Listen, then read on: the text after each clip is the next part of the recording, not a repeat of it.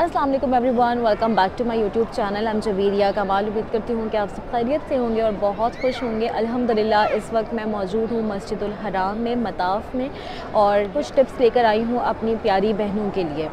अच्छा जब भी हम उम्र के सफ़र पर आते हैं तो हर ही चीज़ का ख्याल रखते हैं। आज ख़ास तौर पर मैं बहनों से चंद चीज़ों के हवाले से बात करूँगी और अगर वो इन चीज़ों का ख्याल रखें, बहुत सारी ख़वातीन इन बातों का ख्याल रखती होंगी, लेकिन अगर कोई भी एक ऐसी बात है जिसका आप ख्याल रखना भूल गए हों, अपने किसी पिछले सफ़र में या अभी आप आने वाले हैं, तैयारी करने वाले तो इन तमाम बातों का ज़रूर ख्याल रखिएगा। इन आपका सफ़र बहुत बेहतरीन रहेगा। प्लीज़ वीडियो को स्किप किए बगैर देखिएगा, चैनल को सब्सक्राइब कर दीजिएगा बेलाइकन प्रेस कर दीजिएगा। चलें जी, वीडियो शुरू करते हैं। अच्छा जी, यहाँ पर सबसे पहले तो बात कर लेते हैं ड्रेसिंग की। जैसा कि इस टॉपिक पर मैंने एक वीडियो ऑलरेडी अपलोड की हुई है, अगर आपने नहीं देखी तो जाकर देख लीजिएगा। उसके अंदर मैंने डिटेल से बात की है, लेकिन यहाँ पर भी बहुत ज़रूरी है ये बात करना। जैसे कि हम सबको मालूम है कि पहले सऊदी अरब में अबाया पहना कंपलसरी था। एक एज लिमिट उन्होंने बताई हुई थी कि उसके बाद ख़वान अबाया पहनेंगी ही पहनेंगी। चूँकि ये उसूल था तो हर औरत ही सऊदी में कहीं पर भी अबाया पहनते थे, लेकिन मस्जिद हराम, मस्जिद नबी में तो लाजमी ही पहना ही जाता था। तो जो भी आता था, उसे पता था कि भाई वहाँ पर ये सख्ती है, उसूल है कि आपने अबाया पहना है तो लाजमी वो अबाया लेकर आते थे। अब चूँकि सऊदी अरब में अबाया कंपलसरी नहीं है तो मस्जिद हराम और मस्जिद नबी में भी अक्सरियत ख़वातीन की ऐसी नज़र आती है, जो कि अबाया नहीं पहनते हैं। ड्रेसिंग जैसे शलवार कमीज़ हो गए, इस तरह की ड्रेसिंग की हुई होती हैं। अच्छा यहाँ पर एक और बात बताऊँ हमारे पाकिस्तानी और इंडियन लोगों में ख़ास तौर पर ये रिवायत चलती आ रही है कि जब भी हज या उम्र के लिए जाया जाता है तो वाइट ड्रेस जो है वो एहतरामन पहना जाता है।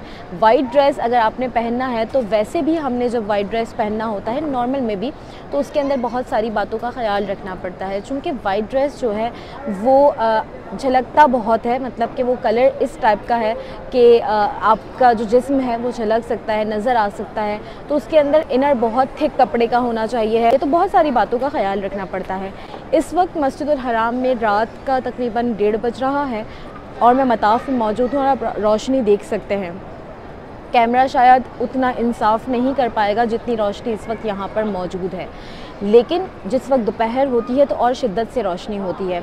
मैंने बहुत सारी ऐसी ख़वातीन देखे, देखी हैं, मैं माजरत के साथ कहूँगी, जो कि उम्र अदा कर रही होती हैं, लेकिन वो बेपर्दगी इस कदर की हो रही होती है कि अक्सर तो शूरतें भी उनको आके पॉइंट आउट करते हैं।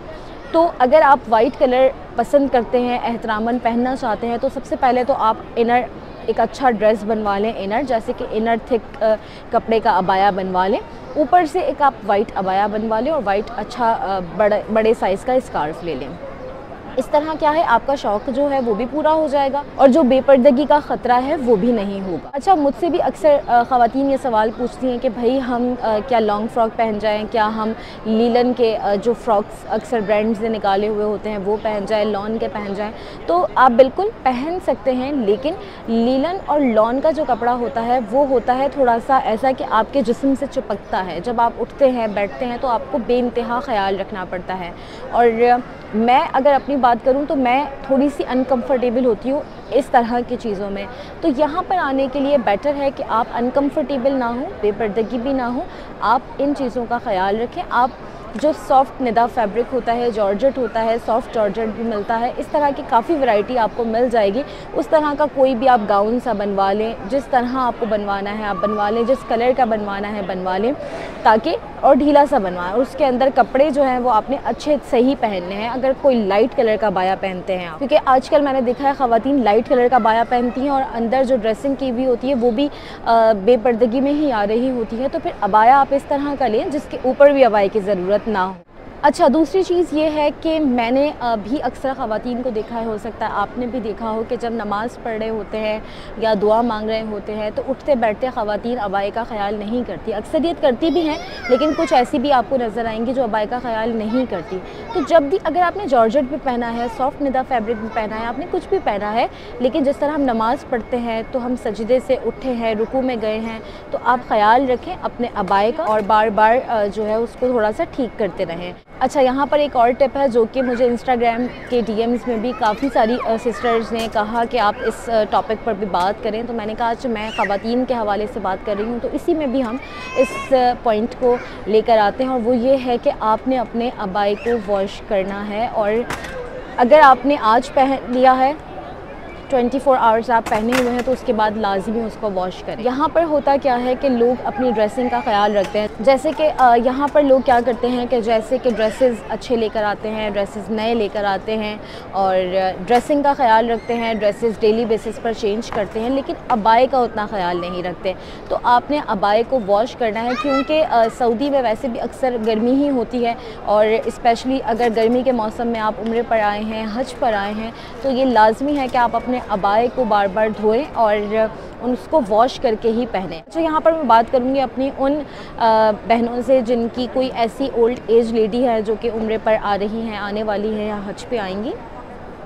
तो उन्हें भी आप ये पॉइंट समझा कर भेजें बता कर भेजें या उनको डिटर्जेंट आप साथ दे दें। अच्छा डिटर्जेंट का क्या होता है? हम अपने साथ लेकर आ सकते हैं और यहाँ से भी ख़रीद सकते हैं। दो रियाल का एक अच्छा मतलब मिल जाता है। उससे आप अपने अबाए को काफ़ी बार धो सकते हैं। तो इसके लिए कोई ऐसी ज़रूरी नहीं है कि इतना आपने कोई ताम झाम है इसके अंदर। आ, सिंपल सा आपने क्या करना है? अगर आ, आपके वॉशरूम में बकेट है यानी कि बाल्टी है तो आप उसके अंदर बस थोड़ा सा पानी करके थोड़ा सर्व करके और उसको यूँ हाथ से भी करेंगे तो उसकी जो इस्तेमाल है क्योंकि यहाँ पर हम किसी कीचड़ में नहीं है किसी गंदगी जगह पर नहीं है कि कोई अबाया बहुत ख़राब हो रहा है या हम कीचड़ में चल रहे हैं तो वो गंदा हो गया तो गंदा तो इतना होता नहीं है लेकिन हाँ स्मेल उसके अंदर बहुत ज़्यादा आ जाती है पसीने की तो इस बात का भी ज़रूर ख्याल रखें। अच्छा यहाँ पर एक और यहाँ पर टिप है बैग के हवाले से। देखिए, ये बैग मैंने लिया हुआ एक क्रॉस बॉडी है। अच्छा मेरे पास सामान थोड़ा ज़्यादा है चूँकि मुझे वीडियो बनानी होती है तो मैं इस तरह नहीं होता कि होटल में सामान रखा है।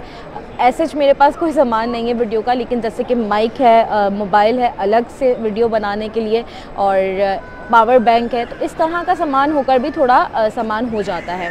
तो जब मौका मिलता है, वीडियो बना लेती हूँ तो सामान साथ ही रखती हूँ। अच्छा इस तरह का बैग लेकिन बिल्कुल ठीक रहता है तो इसके अंदर पॉकेट्स भी बहुत है। इससे पहले मैं लेकर आई थी, वो भी तीन पॉकेट्स का था, वो साइज़ में से थोड़ा छोटा था।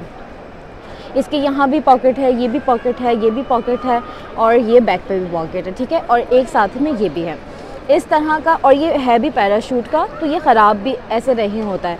इस तरह का आप कोई क्रॉस बॉडी ख़रीद लें या सिर्फ़ अगर आपको एक फ़ोन ही रखना है और आपके पास इतनी चीज़ें नहीं हैं तो वो एक फ़ोन रखने का भी जो आता है, आप खाली वो भी रख सकते हैं। लेकिन यहाँ पर एक बात बताऊँ, अगर आप ऐसी ख़ातून हैं जो कि चीज़ों को ख़ुद संभालती हैं, यानी कि कुछ लोगों का ऐसा होता है हस्बैंड्स आते हैं, भाई हैं फादर हैं तो वो रखते हैं। लेकिन कुछ ख़वान का ऐसा होता है कि वो ज़्यादा बेटर होती हैं इन सिचुएशन में। तो अगर आप ऐसी खातून हैं तो आपके पासपोर्ट, आपका जो भी आपने पैसे रखने हैं, जो कि कीमती जो चीज़ें होती हैं, उनको आपने क्रॉस बॉडी बैग में रखना है। क्योंकि होता क्या है कि जैसे अक्सर इस तरह सुनने में आता है मस्जिद हराम और मस्जिद नबी में कि हमारे के जो बैग पैक है, हम नमाज़ के लिए रखें या इधर देखा, उधर देखा तो अक्सर ऐसा होता है कि चोरी होने का भी ख़तरा होता है।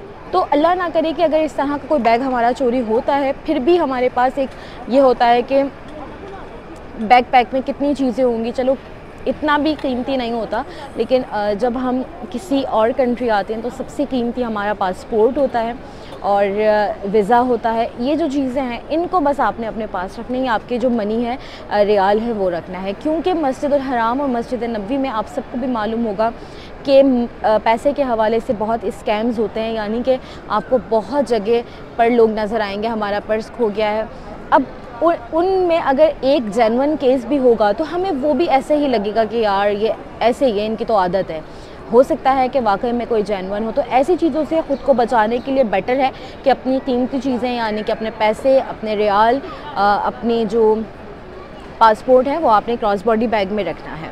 अच्छा इसके अलावा आपने अपने साथ इस तरह का रखना है बैग पैक ठीक है, अभी इसके अंदर मैंने एक चादर रखी हुई, एक एक्स्ट्रा हिजाब रखा हुआ है क्योंकि अगर वज़ू करना पड़ता है, क्योंकि वज़ू करना पड़ता है तो फिर कभी ऐसा होता है कि इस, ये जो मैंने पहना हुआ है थोड़ा सिल्क टाइप है ना, इसको बांधने में टाइम लगता है तो मैंने लॉन का लीलन का रखा हुआ है कि फ़ौरन से अगर वज़ू करने की ज़रूरत तो मैं उसको बाँध लूँ, ठीक है? और इस तरह का जो बैक पैक होता है, इसके अंदर बहुत अच्छे से सामान आ जाता है, और इसी के अंदर मेरी जो है वो स्लीपर्स भी रखी हुई है। यहाँ पर एक और टिप जो है वो ख़ास तौर पर मेरी इंडियन और पाकिस्तानी बहनों के लिए है कि जब भी वो यहाँ पर आते हैं या कहीं पर भी जाती हैं तो एक वो होता है कि अच्छी भर भर के कांच की चूड़ियाँ पहनते हैं। तो आप कहीं पर भी जाएँ, ज़रूर पहने, ज़रूर तैयार हों, लेकिन मस्जिदुल हराम और मस्जिद नबी में आप कांच की चूड़ियाँ पहनने से परहेज़ करें। क्योंकि रश इस कदर का होता है कि धक्के पड़ते हैं, नमाज़ का टाइम है, तवाफ़ करते हैं तो बहुत धक्के पड़ते हैं। तो वो जो चूड़ियाँ हैं वो टूटती हैं और जितने लोग यहाँ पर आ चुके हैं मेरी बात से इतफ़ाक़ करेंगे कि आपको जगह जगह पर टूटी हुई कांच की चूड़ियाँ नज़र आती हैं। जो लोगों को चुपती है, नुकसान पहुँचाती है। मुझे याद है मैंने इसके ऊपर जब शॉर्ट वीडियो बनाई थी अपने लास्ट ट्रिप पर तो मेरी एक बहन का इंस्टाग्राम पर मेरे पास डीएम आया था कि उनके भाई को इतना ज़्यादा इशू हुआ है इस चीज़ से कि उनका जो पाँव है वो बहुत ज़्यादा पक गया है और बहुत मतलब टाइम हो गया है, लेकिन वो ठीक नहीं हो रहा। तो देखिए आप तैयार होकर आए हैं लेकिन आपने किसी और को कितनी ज़्यादा मुसीबत में डाल दिया है? जैसे कि ये मुक़दस मकाम में कहा जाता है इबादत हो दुआ हो सदक़ जारिया हो यहाँ पर सवाब बेहतरीन दिया जाता है। मतलब आ, मैं समझती हूँ कि हमारी सोच से बढ़कर दिया जाता है। लेकिन अगर हम यहीं पर इस तरह के काम भी करेंगे जो दूसरों को तकलीफ़ देंगे दूसरों को नुकसान पहुँचाएँगे तो फिर हमारा वो जो सवाब है वो ज़ाया होने का भी ख़तरा हो सकता है। तो इन बातों का हमने ज़रूर ख्याल रखना है। एक और बात कहूँगी कि थोड़ा सा सब्र तहमुल से काम लें। बहुत सारे लोगों को मैं ऐसे देखती हूँ जैसे अब हम नमाज़ पढ़ने बैठे हैं तो वो इतनी आंटीज़ लड़कियाँ थोड़ी सी ऐसी मतलब क्या कहूँ मैं चिड़चिड़ी हो जाती है कि भाई यहाँ नहीं बैठो। आ, थोड़ा आगे हो सजदे की जगह दो जब नमाज़ होगी जमात होगी सब ठीक हो जाएगा। आप थोड़ा सा किसी को जगह दें। कल मैं आपसे कल की बात शेयर करती हूँ मताफ़ में। मैं आ, कल जगह ढूंढ रही थी मगरब की नमाज़ पढ़ने के लिए और मुझे जगह नहीं मिल रही थी क्योंकि वो बार बार उठाते रहते हैं। आप बार आप कभी एक जगह बैठते हैं फिर वो वहाँ से छूटते उठाते हैं फिर आप एक जगह बैठते हैं। तो जो लेडीज़ सेक्शन था मैं उधर चली गई लेकिन मुझे जगह नहीं मिल रही थी। तो यहाँ पर मैं बताऊँ कि इतनी सारी वहाँ पर ख़वान थी लेकिन बड़ा दिल करने को कोई तैयार नहीं होता। मैं ये नहीं कह रही आप अपनी जगह दें लेकिन अपने पास आप थोड़ा सा एडजस्ट करवा सकते हैं। एक मिसरी लड़की थी जिसने मुझे जगह दी और बहुत कम जगह थी उसके पास भी हद कि जो आंटी खड़ी थी, वो थोड़ा सा वो करने लग गई तो वो बेचारी खुद थोड़ी सी सिमट गई और उसने मुझे जगह दी। तो आप यकीन करें काबे के सामने मेरे दिल से ये दुआ निकली कि अल्लाह इसने मुझे जगह दी है तो इसे जन्नत में घर देना तो आप देखें, उस लड़की को इवन मेरी लैंग्वेज नहीं आती, मुझे उसकी लैंग्वेज नहीं आती, लेकिन हम, लेकिन यहाँ पर अगर आप छोटी छोटी नेकियाँ करेंगे, किसी को जमसम पिला देंगे, किसी को जगह दे देंगे, किसी को कुछ चाहिए है, अगर आपके पास है, आप वो उसको प्रोवाइड कर दें। ऐसी छोटी छोटी नेकियों से हमें जितना सवाब मिलेगा ना, शायद मैं और आप अपनी इंसानी सोच से उसको सोच भी नहीं सकते। एक तो मस्जिद हराम है और ऊपर से नेकी का कोई काम तो कितना ही सवाब मिलेगा। तो आई होप ये वीडियो आपको अच्छी लगी होगी अच्छी लगी हो तो प्लीज़ चैनल को सब्सक्राइब करके बेल आइकन प्रेस कर दीजिएगा। आपका कोई सवाल हो इंस्टाग्राम पर ज़रूर पूछ लीजिएगा लेकिन सवाल वो होना चाहिए जिसके ऊपर वीडियो ऑलरेडी मौजूद ना हो क्योंकि जो वीडियोस मौजूद हैं उनको वीडियो को डिटेल में देखें तो आपको सारी बातें समझ आ जाएँगी। है और काबे के सामने एक ही दुआ है कि अल्लाह पाक मुझे आपको हम सबको अपनी फैमिली के साथ अपने माँ बाप के साथ अच्छी सेहत के साथ और बहुत सारी खुशियों के साथ यहाँ पर बार बार खैर सेहत ईमान तंदरुस्ती के साथ आना नसीब करें। प्लीज़ अपनी दुआओं में मुझे मेरे पेरेंट्स को ज़रूर याद रखिएगा। इन अगले वीडियो में मुलाकात होती है। तब तक के लिए फ़ियामान